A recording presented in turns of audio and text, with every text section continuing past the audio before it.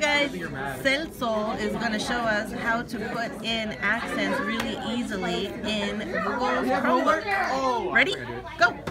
Okay, so for Chromebooks, you would go down to this setting bar right over here. Click that. Normally, if you have someone that tampered with your Chromebook earlier, there would be a little keyboard setting right over here. But since we don't and we have a fresh Chromebook, we're just going to click Settings.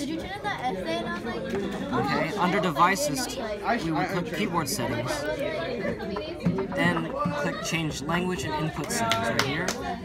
Normally, it would just have English, and just click on that. Input method will have all these different options. Just click International Keyboard. US International Keyboard. Then press Done. Done and close this. Uh-huh. At first, it's not going to register anything if I do anything. Okay. Okay. And i- if it doesn't do anything, you could just go into US keyboard and turn that back on. Right now, I didn't turn it on. Okay, so now it's on. So now to put the accents in, you just put the letter, like A, immediately followed by the apostrophe. Watch. Go. Yay! E apostrophe. I apostrophe. O apostrophe. U apostrophe. That is so awesome. And any letter you want apostrophe apparently. Look, you get G with an accent on it. can show the keyboard That's crazy. Okay, watch. A apostrophe.